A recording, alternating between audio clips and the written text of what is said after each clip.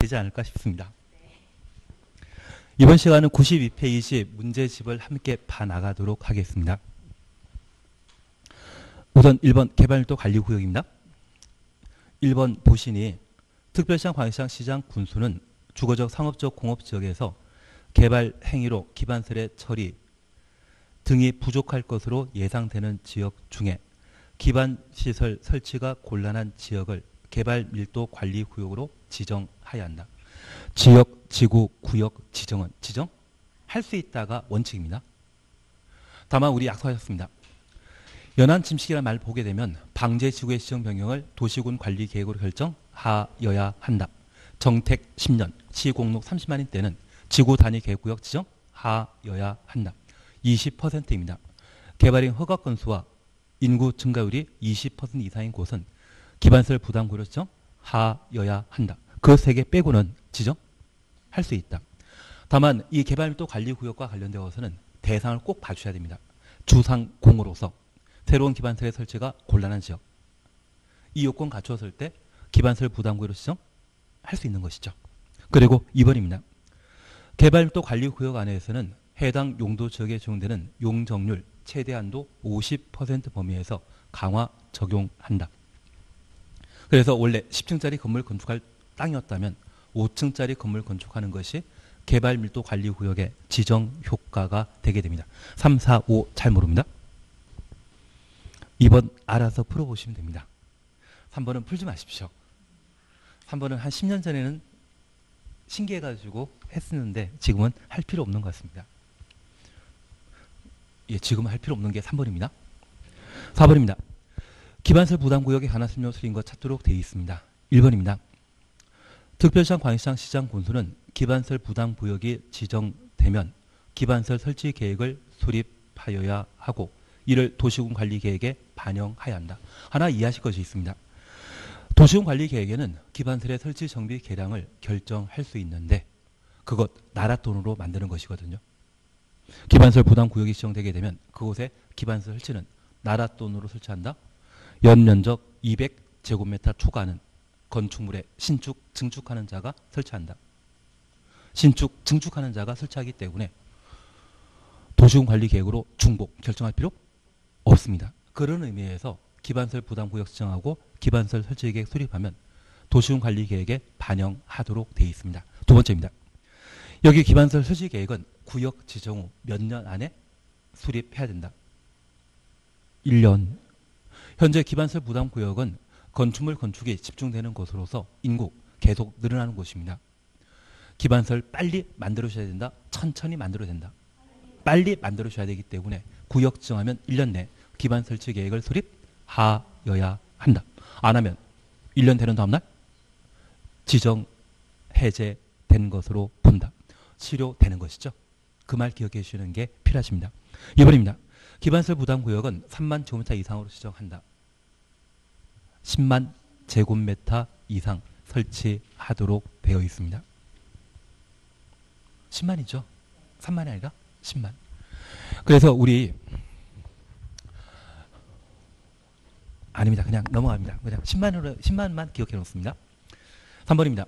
기반설 부담 구역의 기반설 설치 비용의 부과 대상인 건축 행위는 연면적 200 조미터 초과는 건축물의 신축, 증축 행위로 한다. 그래서 200조미터 초과라는 말 추천하시고 신축, 증축 추천했습니다. 개축, 재축하는 때는 기반설 설치 비용의 부과 대상 아니죠. 그리고 4번입니다. 기반 설치 비용의 납부 의무자는 사용 승인 신청 시까지 이를 내야 한다. 사용 승인 신청 시, 신청 시 추천했습니다. 우리 기반설 설치 비용의 부가 징수 절차는 연 면적 200제곱미터 초과하는 건축 허가 받은 날부터 2개월 이내 기반설 설치 비용을 부가 통지하고 통지 받은 자는 사용 승인 신청 시까지 납부하도록 되어 있습니다. 그래서 기반 설치 비용의 부가 통지는 허가 받은 후 2개월 이내 사후 통지하는 반면 기반설 설치 비용의 납부는 사용 승인 이후에 내는 겁니까? 사용 승인 전에 내는 것입니까? 신청시라고 하면 승인 나오기 전에 설치 비용을 부담하도록 되어 있습니다. 가끔 양도소득세를 체납하시는 분들을 찾아다니는 세무팀 있지 않습니까? 3, 4기 동네. 우리 헌법 34조에는 조세 부담과 관련된 내용을 다루고 있거든요. 헌법 34조가 세금과 관련된 조문이기 때문에 국세청에서 운영하는 기동팀은 왜 삼산지 이해되시겠어요? 나는 그런 거 전혀 상관없다. 납세 의무 있지 않습니까? 납세 의무. 납세 조항이 헌법 34조에 있거든요. 헌법 34조로 해서 3, 4기동대가 되는 겁니다. 나는 TV 드라마에서나 받고 평상시에 볼 일 없다? 양도소 체납할 수 있는 그런 여유가 있으면 참 좋지 않을까 싶습니다. 보니까 다들 골드바에다가 현금 다발 다 숨겨놓고 계시더라고요. 괜한 이야기 했나 봅니다. 그래서 우리 4번과 관련되어서는 부가 통지는 건축 허가 받은 날부터 얼마? 2개월. 돈 내는 것은 언제까지? 사용 승인 신청 시까지. 5번입니다. 기반 설치 비용은 현금 납부를 원칙으로 하고 물납 가능하다. 그래서 부가 대상 토지 및 이와 비슷한 토지로 납부 인정할 수 있다. 물납 예외적으로 인정한다라는 것 확인해 놓습니다. 답은 2번입니다. 5번입니다. 기반설 부담구역 지정과 기반설 시비용에 관한 설명으로 틀린 것 찾도록 되어 있습니다. 우선 1번입니다. 기반설 부담구역으로 지정하여야 한다. 지정하여야 한다. 가로 해놓습니다. 현재 기반설 부담구역은 20% 이상 개발행위 허가 건수가 늘어나거나 인구 증가율이 높은 동네에 대해서는 기반설 부담구역으로 지정하여야 합니다. 법령 개정 또는 용도 지역 변경 등으로 용도 지역과 관련된 각종 행위 제한이 완화되거나 행위 제한이 해제되는 곳은 기반설 부담구역으로 지적하여야 합니다. 그래서 1번에 용도 지역 변경 등으로 행위 제한이 완화되는 행위 제한이 완화, 완화되는 곳은 기반설 부담구역으로 지정하여야 한다. 그래서 20%란 말과 행위 제한이 완화된다. 이 말 보게 되면 필수적 지정 대상이라는 것 다시 한번 확인해 놓습니다. 2번 그냥 지나십니다. 3번입니다. 기반설 부담구역 지정 고시부터 3년 되는 날까지 설치계획 수립하지 않으면 3년 되는 다음 날, 아, 3년 되는 날 해제된 것입니다. 3년이 아니라 1년. 그리고 두 번째 줄에 3년 되는 날이 아니라 다음 날이겠죠. 1년 되는 다음 날, 다음 날 들어가셔야 되지 않겠습니까? 그래서 3번 틀린 것으로 파악해 놓습니다. 4번, 5번은 대상과 부가 절차에 관한 내용으로 이미 보셨습니다. 6번입니다. 광역시의 기반설 부담구역에 관한 설명으로 틀린 것 찾도록 되어 있습니다. 1번 기반설 부담구역이 지정되면 광역시장은 기반설 설치 계획 수립하여야 하며 이를 도시군 관리 계획에 반영하여야 한다. 현재 기반설 부담구역과 기반설 설치 계획은 개발 행위 허가와 관계된 사항으로 허가권자가 지정하고 수립하게 됩니다. 허가권자는 누구이다? 특광시군입니다. 그래서 국토계획법은 도시군 관리계획으로 집행하는 법률입니다. 도시군 관리계획과 관련되어서는 입안권자와 결정권자가 관할 관청이고 개발행 허가와 관련된 관할 관청은 누구이다? 허가권자입니다. 그래서 국토계획법의 관할 관청은 입안권자, 결정권자, 허가권자 이 세 사람입니다. 그래서 입안권자와 관련되어서는 원칙 특광시군이고 예외 국토이며 결정권자와 관련되어서는 지도이사 대도시장, 예배 국장, 지구 단위 계획만큼은 시장 군수도 결정권자가 되고 개발인 허가와 관련된 관할관청은 특광시군입니다. 그래서 광역시의 기반설 부담구역 지정과 기반 설 치 계획은 누가 광역시장이 허가권자로서 허가권자로서 지정권자이고 수립권자가 되게 됩니다. 1번 이해되신 겁니다. 2번입니다. 기반설 부담구역 지정은 광역시에 설치한 지방 도시계획위원회 심의 대상이다. 심의해야 됩니다. 심의해야 됩니다. 다만 돈과 관련된 행정계획일 때는 심의할 필요 있다 없다.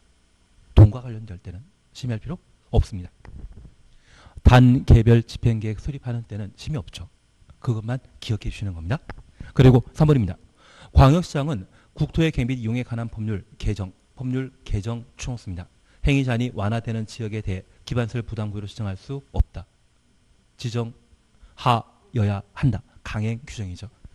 우리 막말로 공법에 끝에 없다란 말 나오게 되면 그 없다가 틀린 겁니다.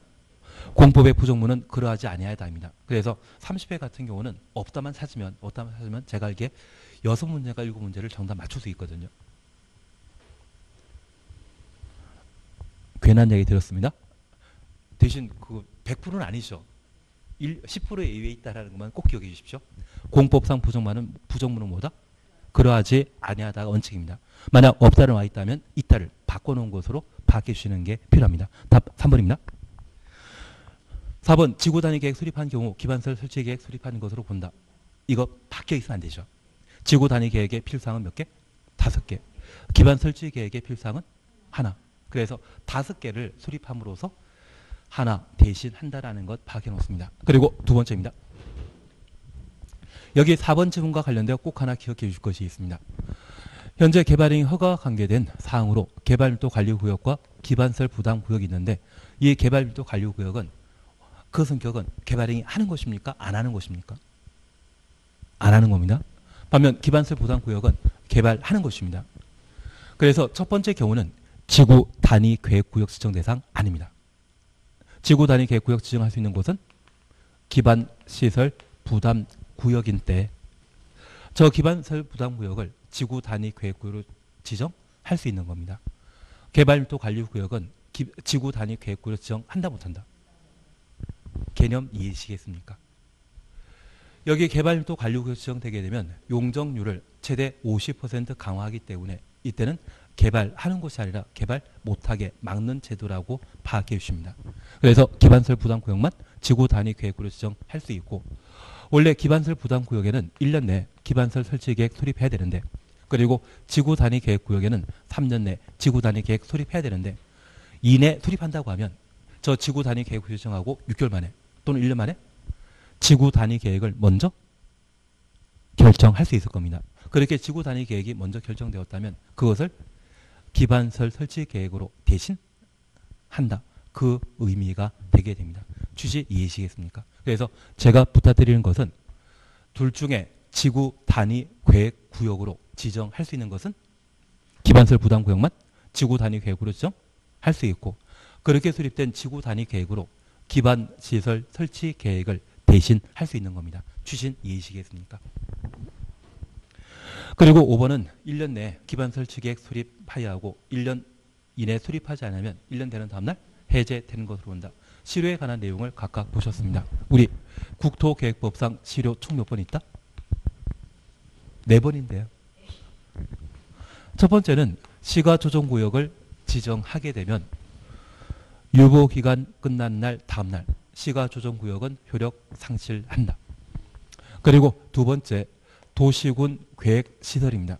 여기 도시군 계획 설과 관련되어서는 20년 내 사업하지 않다면 20년 되는 다음 날 효력 상실한다라는 것 기억해 놓으시고 저 도시군 개설 사업이 10년간 사업 시행하지 하고 10년 지나 실시 계획을 작성하거나 실시 계획 인가 받았다고 하면 5년 이내 재결 신청하지 않았을 때 5년 되는 다음날 실시 계획이 효력 상실하게 됩니다.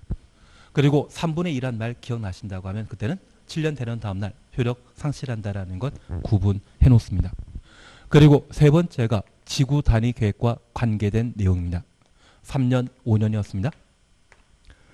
구역 지정 한 날부터 3년 내 계획 결정하지 않으면 3년 되는 다음날 효력 상실하고 주민 위반 제한하면 5년 내 공사 착수하지 않으면 5년 되는 다음날 효력 상실한다라는 것 살펴놓습니다.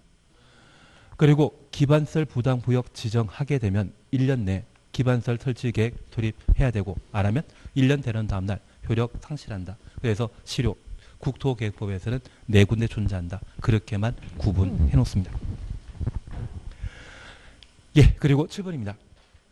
기반설 부담 구역 설치가 필요한 기반설에 해당되지 않는 것 찾도록 되어 있는데 답은 3번입니다. 대학. 학교는 대학은 기반설 부담 구역 주민이 입학하지 못하기 때문에 그 대상에서 제외하는 겁니다. 하여튼 몸 관리 잘 하셔야 됩니다. 8번 함께 보십니다. 개발도 관리 구역 및 기반설 부담 구역에 관한 설명을 옳은 것 찾도록 되어 있습니다. 1번입니다. 개발도 관리 구역에서는 해당 용도 지역에 적용되는 건폐율, 용적률을 강화 또는 완화에 적용할 수 있다. 강화만 나와야 되지 완화란 말 나오면 틀립니다. 다만 제가 부탁드릴 것은 50%란 말이 나오게 되면 용적률만 나와야 됩니다.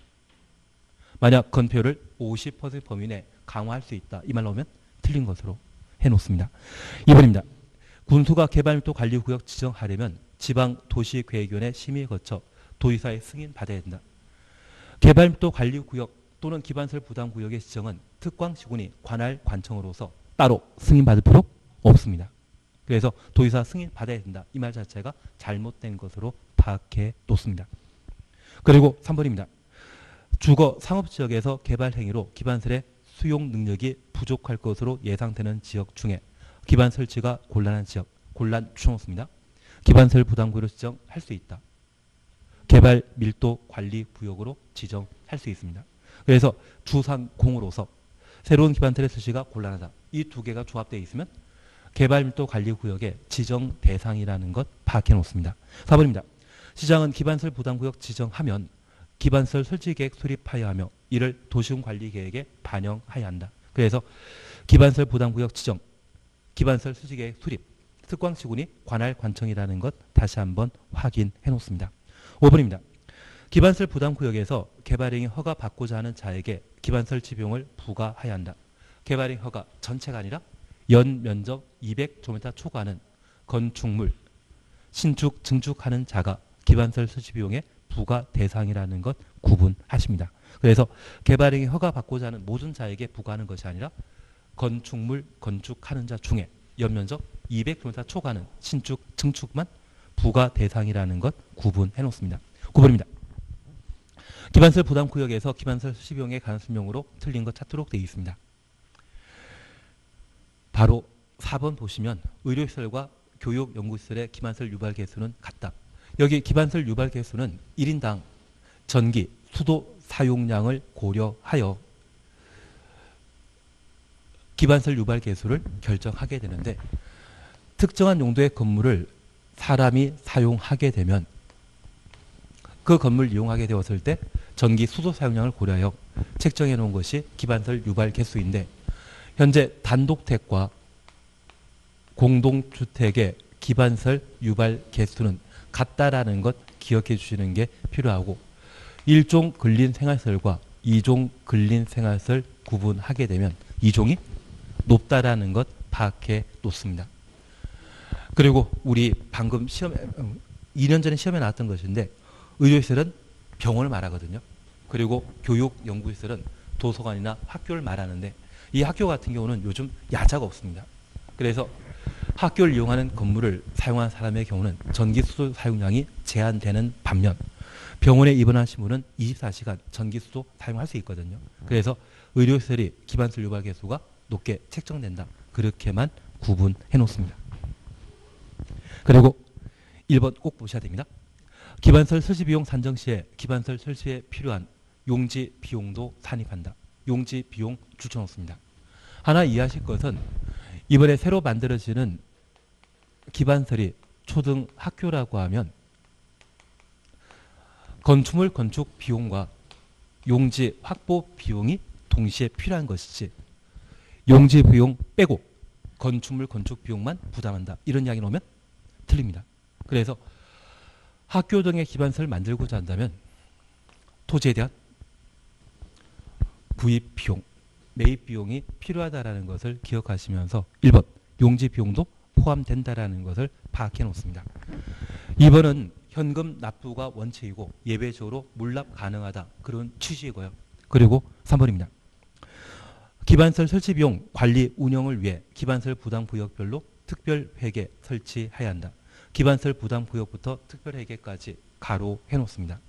우리가 두 가지 기억해 주셔야 됩니다. 첫 번째, 기반설 부담 구역마다 기반설 지비용을 부가 증서했으면 그것은 그 돈은 그 동네만 사용한다. 다른 동네도 함께 사용한다. 그 동네만. 그래서 기반설 부담 구역별로 사용한다라는 것 기억하시고 두 번째 특별 회계는 일반 회계와 비견되는 개념이 특별 회계입니다. 여기 일반 회계는 예산 심의할 때 올해 사용할 예산을 전년도 정기 국회에서 심의하고 편성하게 되면 그게 일반 회계이고요. 최근 코로나 사태와 관련되어 가끔 지원금 100만 원 넘게 받으셨거든요. 그런 집행은 어디에 반영된 것이다? 특별 회계입니다. 그러면 기반설 부담구역 내 연면적 200제곱미터 초과하는 건물의 신축 증축은 미리 예상할 수 없기 때문에 특별 회계로 편성되는 것이지 일반 회계 편성 대상 아닙니다. 그리고 소고기 많이 사 드셨습니까? 지원금 가지고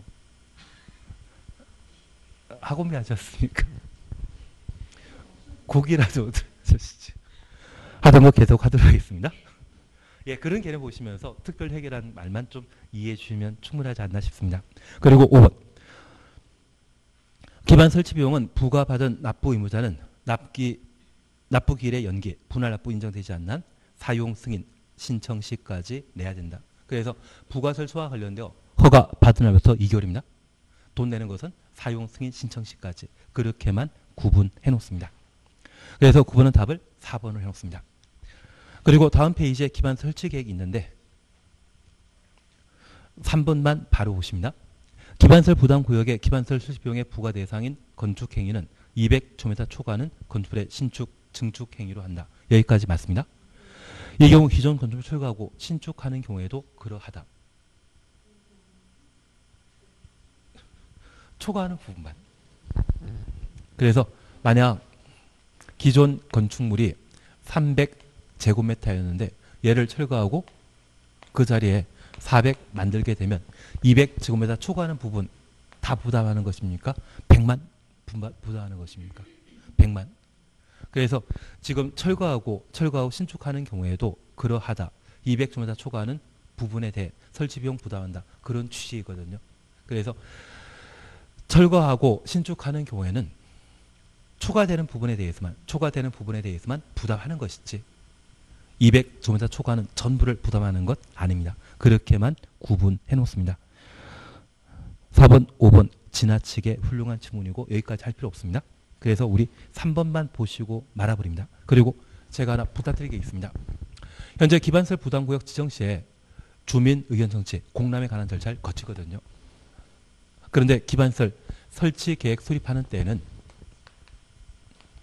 주민 의견 정치 하질 않습니다.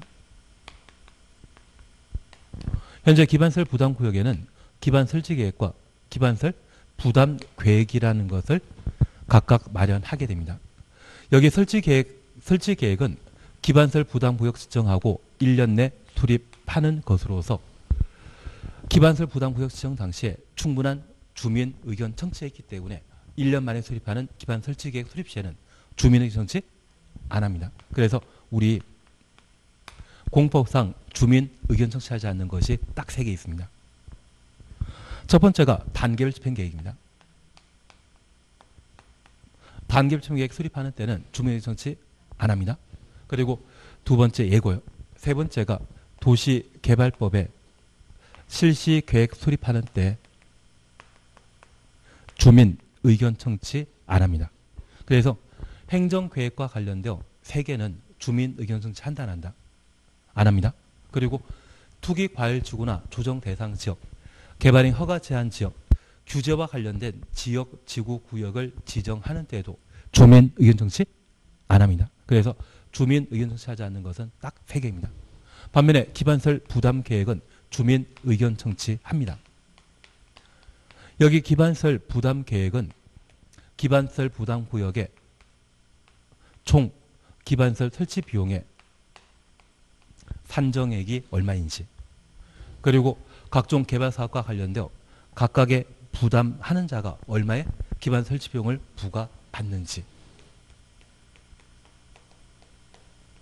그래서 기반설 부담 계획은 비용 부담과 관련된 행정 계획으로서 이때는 주민 의견 정치하고요. 기반 설치 계획은 주민 의견 정치 안 합니다. 다만 지금까지 기반설 부담 계획에 대해서는 시험에 나와본 적 없습니다. 제가 부탁드리는 것은 행정 계획 중에 주민 의견 정치하지 않는 것은 기반설 설치 계획과 단계별 집행 계획 그리고 도시개발법의 실시 계획 세 가지 행정 계획에 대해서는 주민 의견 정치 안 한다. 그렇게만 구분해 놓습니다. 그것만 잘 해 놓습니다. 예. 11번에 대해서는 그냥 지나가십니다. 그래서 다 보셨던 거고 5번 보시면 특별시장 광역시장 시장 군수는 기반 설치 비용의 관리 운영 외 관할 구역 단위로 관할 구역이 아니라 기반 시설 부담 구역 대상으로 특별 회계 설치해야 한다. 근데 그냥 얘는 안 봐도 상관없을 것 같습니다. 그리고 12번은 단수 남기에 해당되는 것으로 그냥 지나가십니다. 얘는 해도 똑같이 안 나옵니다.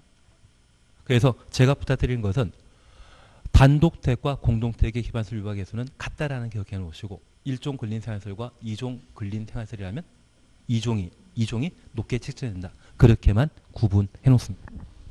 예, 그리고 다음 페이지에 보칙 나오는데 시장 군수가 주민 의견 들어야 하는 경우로 명시되어 있지 않은 것 찾도록 되어 있습니다. 작년 기출 문제이거든요.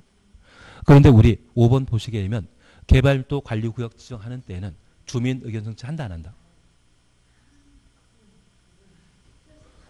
예, 그래서 개발도 관리구역은 규제에 관한 사항으로 주민 의견 청취 없이 한다라는 거 기억하시고 얘를 보셨다고 하면 이제 우리는 기억하실 것이 기반 설치 계획은 주민 의견 청취 한다 안 합니다. 단계별 집행 계획과 도시개발법의 실시 계획 세 가지에 대해서는 주민 의견 정치하는 것 아닙니다. 그런데 우리 개발밀도 관리 구역 지정과 관련되어서는 공법상 규제에 해당되는 지역이기 때문에 주민 의견 정치 안 한다. 그렇게만 구분해 놓습니다. 이번 비용 부담에 관한 사항인데 지나치게 어렵습니다. 지키십니다. 그리고 3번 청문과 관련된 사항인데 이 청문은 나오면 까닭이 나옵니다. 다만 우리 공인중개사법 공부하시면서 자격 취소나 등록 말소 시에는 청문에 관한 절차를 진행하지만 영업 정지나 자격 정지 처분 시에는 청문한다 안 한다. 나는 그런 거 잘 모른다. 영업 정지 영업 정지와 영업 정지와 자격 정지 처분 시에는 청문 안 합니다. 예, 취소 말소만 중요한 행정 처분일 때만 청문에 관한 절차를 진행하도록 되어 있습니다. 그래서 얘를 통밥으로 찍게 된다고 하면 니은번에 도시군 기본계획 승인 취소 도시군 기본계획은 구속력 있는 행정계획이다 구속력 없다 구속력 없기 때문에 구속력 없기 때문에 안 하는 겁니다. 그리고 리을번에 지구 단위 계획구역 지정 취소 지구 단위 계획구역 지정 취소란 말은 들어본 적 있다 없다 시료는 들어봤지만 지구 단위 계획 구역에 3년 내 계획 결정되지 않으면 3년 되는 다음 날 지구 단위 계획 구역의 효력 상실 시료는 보신 적이 있지만 지구 단위 계획 구역 지정을 취소한다? 그런 말은 들어본 적 없습니다. 그냥 그냥 지금 청문은 취소라고 하는 중요한 행정처분 할 때만 한다. 그렇게만 구분해 놓습니다. 4번 지키십니다. 너무 훌륭한 문제이고 그리고 5번 지키십니다. 시범도 주도 안 하십니다. 안 나오는 건 잘 안 하는 게 마음 편합니다. 이제 개발법 함께 해나가십니다. 개발법은 오늘 잘 정리하시면 아마 제 생각에는 출제하는 여섯 문제 중에 네 문제는 맞출 수 있을 겁니다. 그래서 우선 요약집 함께 보시는데 56페이지를 봐 주셔야 됩니다. 56페이지 찾으셨죠? 56페이지입니다. 1. 개발 계획과 관련된 사항으로 동그라미 2번 보십니다. 도시개발구역의 지정권자는 도시개발구역 지정하려면 도시개발구역에 대한 개발계획 수립해야 한다.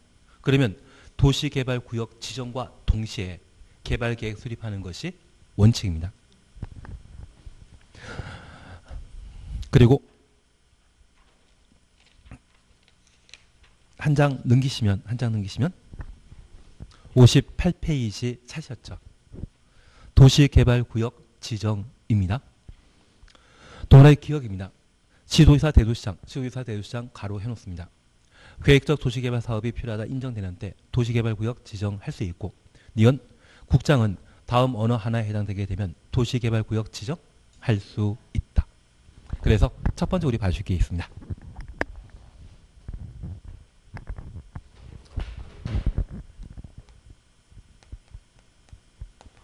개발법상 도시개발 사업은 단지 조성 사업과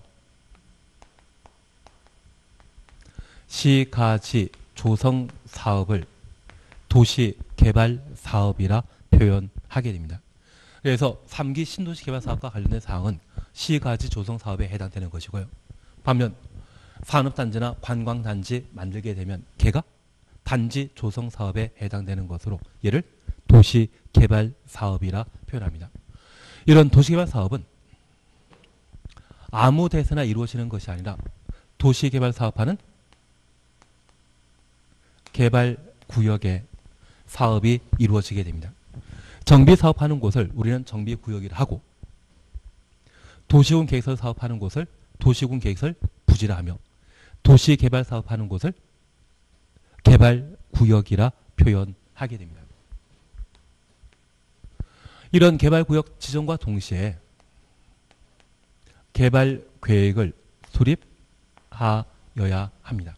하나 이해하실 것은 우리가 도시군 관리 계획 결정 사항으로 4번 도시화 사업에 관한 계획과 정비 사업에 관한 계획을 도시군 관리 계획으로 결정했었는데 이 개발 사업 절차와 정비 사업 절차를 국토계획법에 함께 묶어버리게 되면 그 양이 엄청 많아집니다.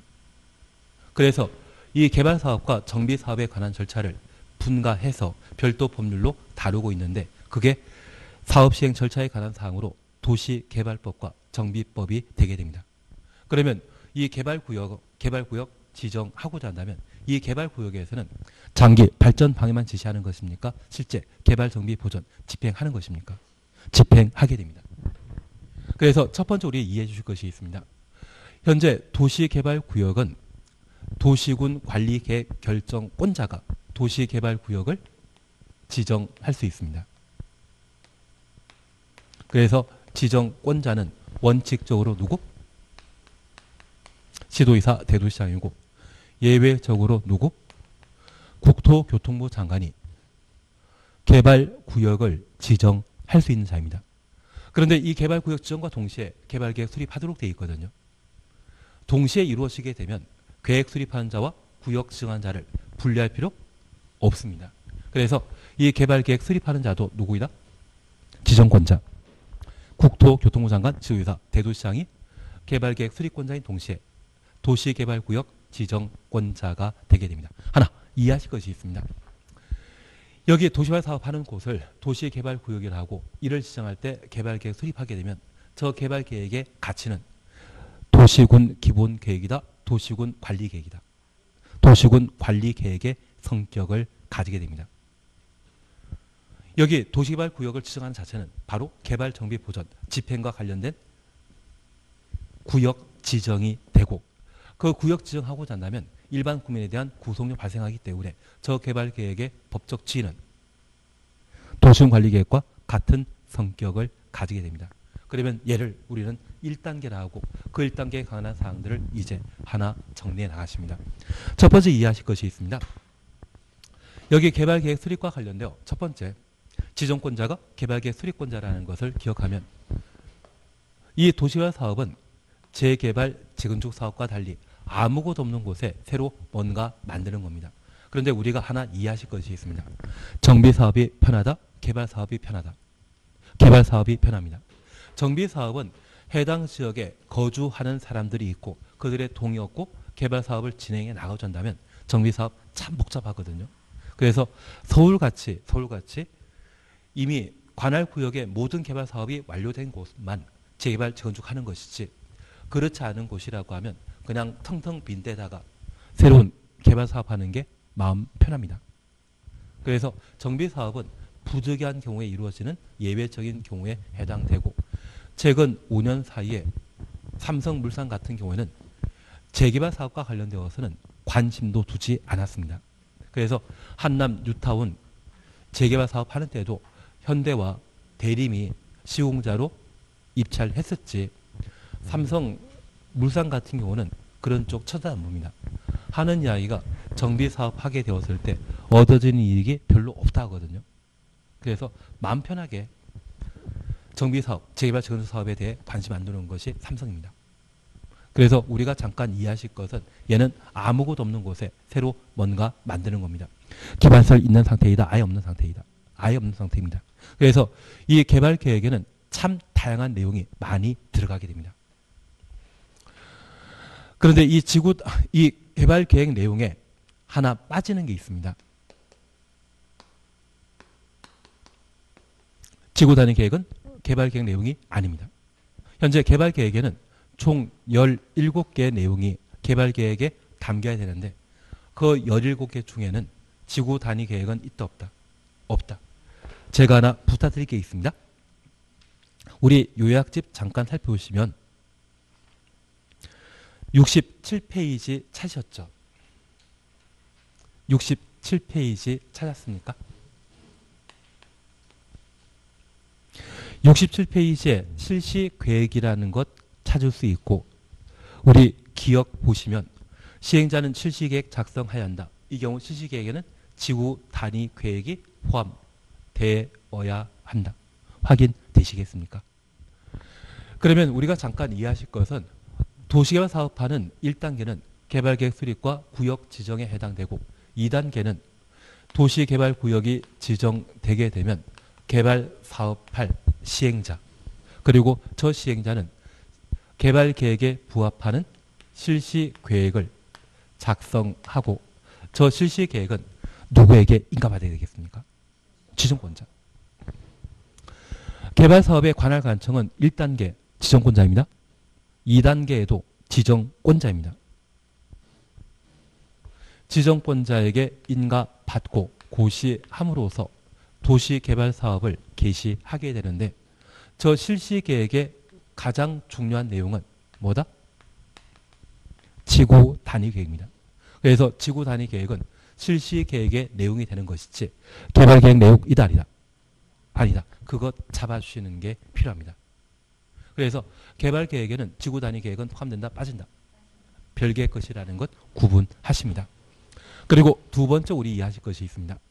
여기 개발 계획은 동시에 수립하는 것이 원칙인데 동시에 수립하는 것이 원칙인데 예외적으로 구역 지정하고 개발 계획 수립하는 경우 있거든요. 그런 경우는 도시 개발 구역 지정되게 되면 토지의 가격은 올라가는데 가끔 토지의 가격이 급등하는 경우가 있습니다.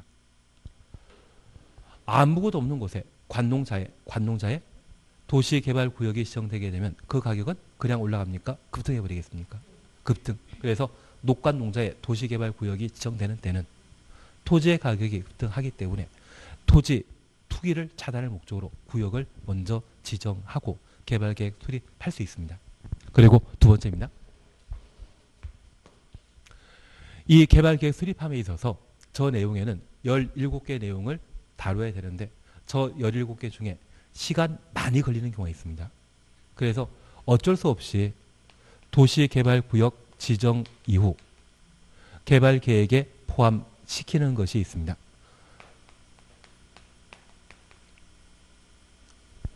우리 중에 공법 제일 잘하는 사람은 저죠.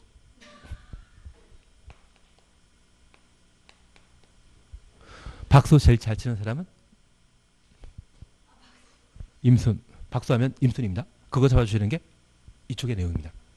그리고 이런 개발 계획 수립하고자 한다면 이 개발 계획 수립과 관련된 기준, 아, 개발 계획 수립과 관련된 내용들 중에 이 개발 계획에는 시행 방식이 포함되게 되는데 저 시행 방식 중에 환지 방식의 경우는 토지 소유자 동의 받도록 되어 있습니다. 하나 이해하실 것이 있습니다. 현재 개발 사업은 수용 방식 아니면 환지 방식으로 크게 양분해서 설명드리겠습니다. 수용 방식으로 사업하게 되면 도시 개발 구역의 토지 소유자는 시행자 하나입니다. 이해관계인 있다 없다?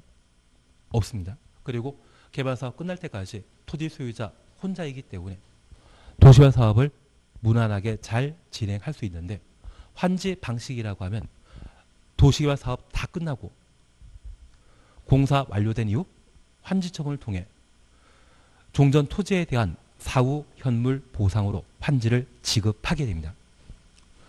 도시개발 구역 내 토지 소유자는 저 환지 받을 때까지 이해 관계인이죠. 저 이해관계 무시하고 개발사업 한다 못한다. 못한다. 그래서 저 개발계획 수립할 때 사업 시행 방식이 환지 방식이라면 누구 동의받아야 된다? 토지 소유자 동의 받아야 됩니다. 수용 시에는 토지 소유자 동의 받을 필요 있다 없다?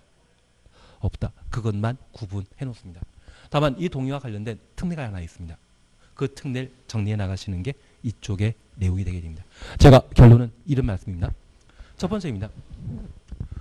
도시개발 구역, 도시개발 계획은 구역 지정과 동시에 이루어지는데 구역 지정 후 개발 계획 수립하는 경우가 있습니다. 그때는 토지 가격이 어떻게 올라갈 때 급등하는 곳인 때는 구역 지정 후 개발 계획 수립할 수 있다라는 것 구분해 놓습니다. 그래서 수립 시기는 원칙 동시인데 예외적으로 구역 지정 후 개발 계획 수립하는 경우 그리고 두 번째입니다. 이 개발 계획에는 17개 내용이 담겨 있어야 되는데 그 17개 포함되지 않는 것은 뭐다? 지구 단위 계획. 지구 단위 계획은 어디 내용이다? 실시 계획 내용이라는 것 구분하십니다. 그리고 개발 계획에 담을 17개 사항 중에 시간 많이 걸리는 게 있거든요. 그 시간 많이 걸리는 것이라면 어쩔 수 없이 구역 지정 후 개발 계획에 포함시킬 수 있습니다. 그 내용은 뭐다? 박수하면 임수. 우리 박수 무당이라는 말도 들어본 적 있으시죠? 그렇게라도 기억해 주시면서 박수하면 임순입니다. 그리고 저 개발 계획 내용에는 사업 시행 방식을 다루는데 유독 환지 방식의 경우는 토지 소유자 동의 받아야 됩니다. 다만 시행자가 국가, 지방, 자치단체의 경우는 토지 소유자 동의 없이 개발 계획 수립할 수 있습니다. 그에 관한 사항을 한번 정리해 주시는 게 필요합니다. 그리고 뭐 330만이라는 것과 광역도시계획과 도시군 기본계획에 부합해야 한다. 그걸 요약집에서 잠깐 보십니다. 여기가 꼭 시험 문제 하나 나오더라고요. 그래서 56페이지 다시 한번 봐주십니다. 56페이지 2번 수립 시기 차셨죠. 류문입니다. 다음 하나에 해당되는 경우에는 구역 지정할 어, 도시개발 구역 지정할 때 구역 지정 후 개발계획 수립할 수 있다. 지정 후 줄만 쳐놓습니다. 1번 개발계획 공모할 때 여기 공모와 관련되어서는 우리 이렇게 잠깐 이해해 놓습니다. 세종시는 도시개발 사업을 국제 공모전을 통해 개발계획 설계 도면을 확보한 적이 있습니다.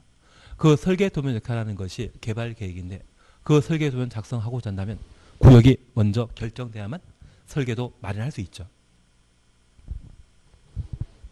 그래서 공모전 실시하는 때는 구역 지정하고 개발 계획 수립하게 됩니다. 근데 하나 여쭙 게 있습니다. 그냥 농담 삼아 들어주십시오. 저 도시개발 구역 지정할 때 그 면적이 면적이 아주 넓은 편입니까? 적당한 편입니까? 세종시는 이게 중심 도로가 왕복 8차선이 아닙니다. 진짜 그냥 미국 사람, 외국 사람들이 설계했을 때 미국 같은 경우는 워싱턴이라고 하는 행정수도 있거든요. 그리고 옆에 뉴욕이 있거든요. 그리고 저 워싱턴과 뉴욕 생각하면서 적당한 인구들 거주하라고 설계해 놓은 상황이거든요. 그래서 가끔 러시아워 시간대는 교통체증 현상이 좀 발생하고 그것 해소하고자 한다고 하면 아마 12차선에서 16차선 정도의 중앙 대로 간선 도로가 하나 확보돼야만 가능하지 않나 싶습니다.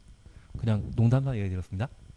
다만 우리가 이해해 주실 것은 그 국제 공모전을 통해 외국인이 세종시에 대한 설계도를 마련했거든요.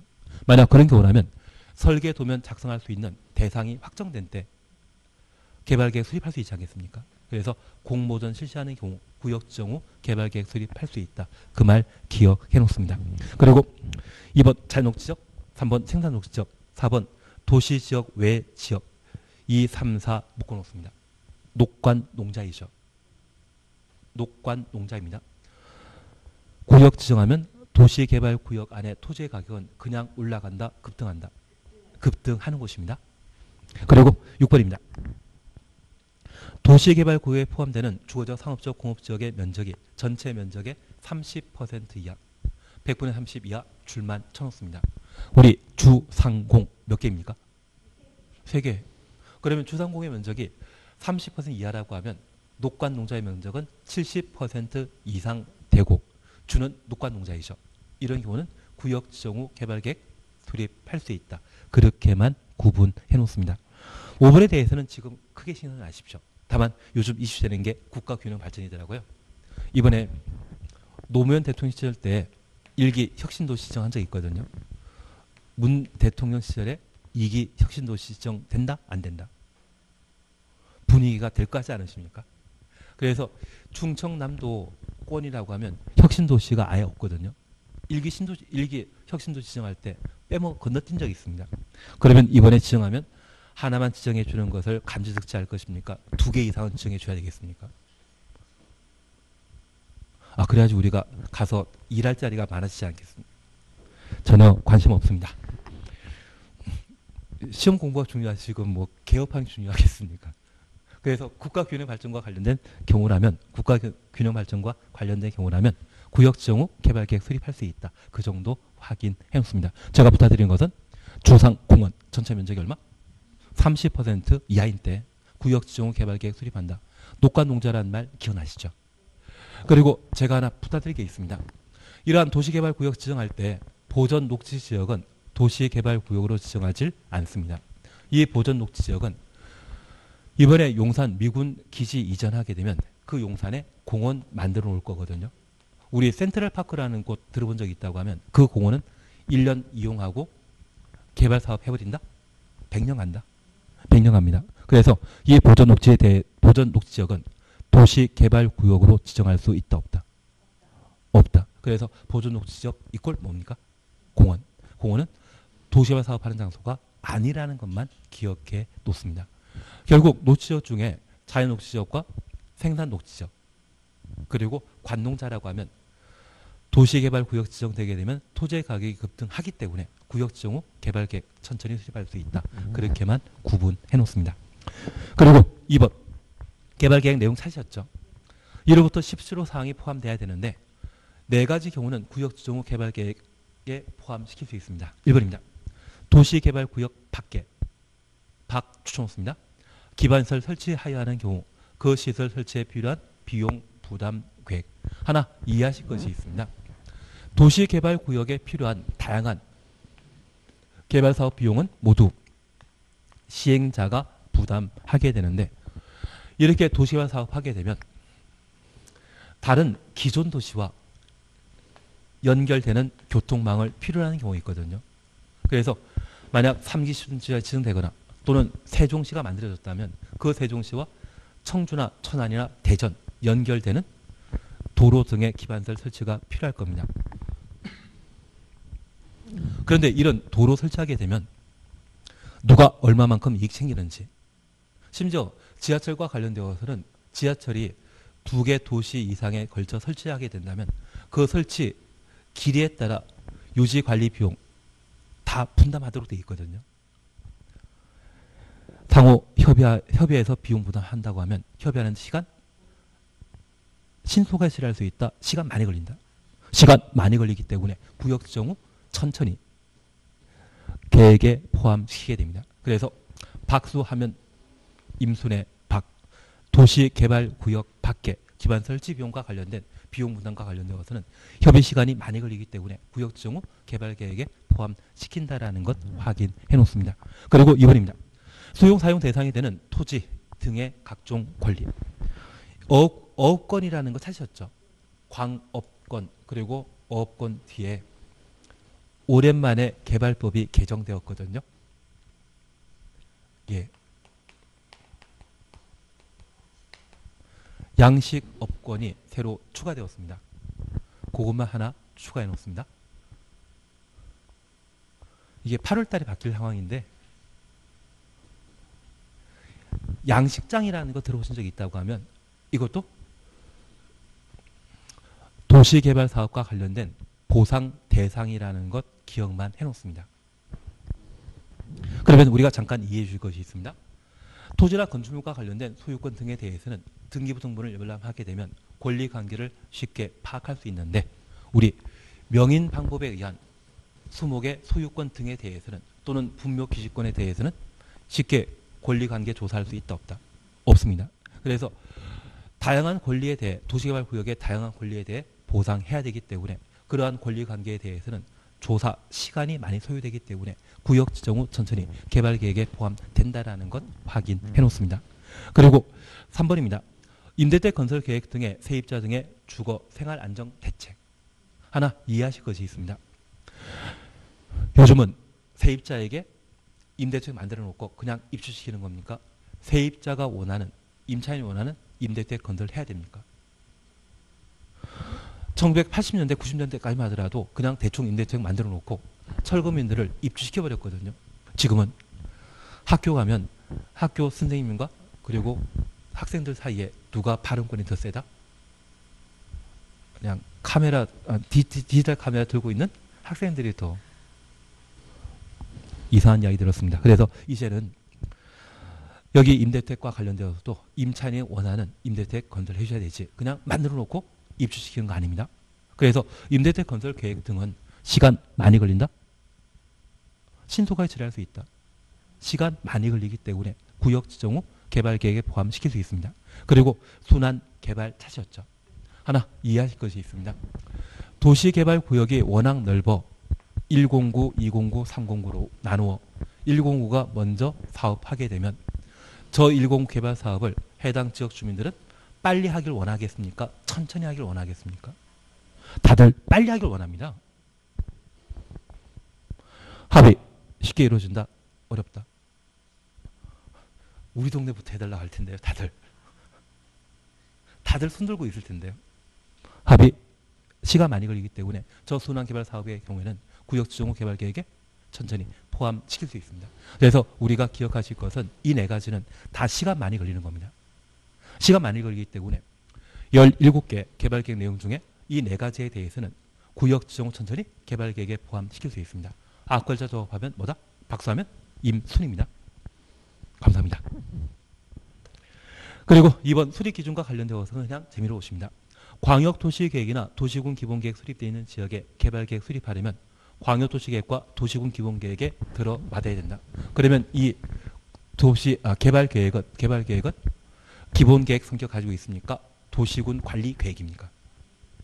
도시군 관리 계획이기 때문에 해당 지역에 광역 도시 계획, 도시군 기본 계획이 있으면 도시군 관리 계획 성격 가지는 개발 계획은 그 두 가지 행정 계획에 부합해야 됩니다. 얘는 구속력 있다 없다. 구속력 있는 겁니다. 얘는 뭐와 똑같은 성격을 가진다? 관리 계획과 동일한 성격을 가지기 때문에 상위 계획인 광역 도시 계획, 도시군 기본 계획에 부합하 여야 합니다. 그리고 리어먼입니다.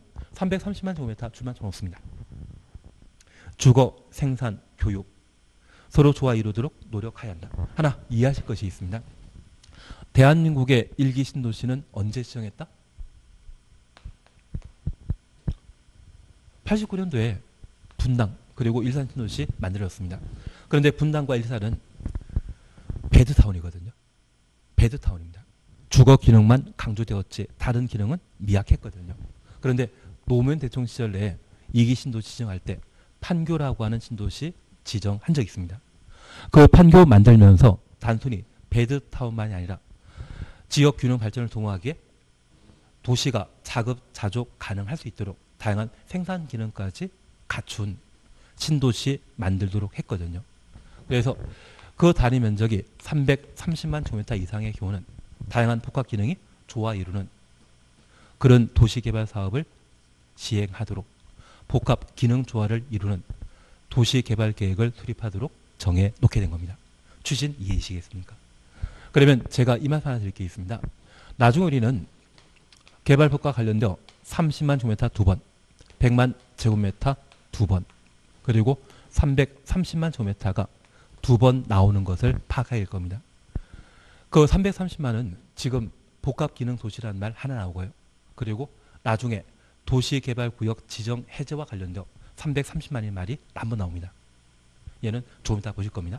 그리고 30만 제곱미터와 관련되어서는 비도시역에 대한 개발 사업과 관련된 규모 30만 이상 돼야 됩니다. 그리고 정부 투자 기관 장이 국가 계획과 관련된 도시 개발 사업을 국토교통부 장관에게 제안하고자 한다면 면적 얼마 이상 돼야 된다? 30만. 그리고 도시개발구역의 단위 면적이 100만 이상인 때는 공람 절차 거친 후 공청회 개최하여야 하여야 하고 도시개발구역의 다리 면적이 100만 이상이면 시도의사 대도시장이 도시개발구역 지정할 때 국토교통부 장관과 협의하여야 합니다. 그래서 우리 개발법에서는 30만 두 번, 100만 두 번, 330만 두 번 나오는데 지금 한번 보신 겁니다. 계속 반복하실 겁니다. 그리고 쉴 때 되셨거든요. 쉬었다 하십니다.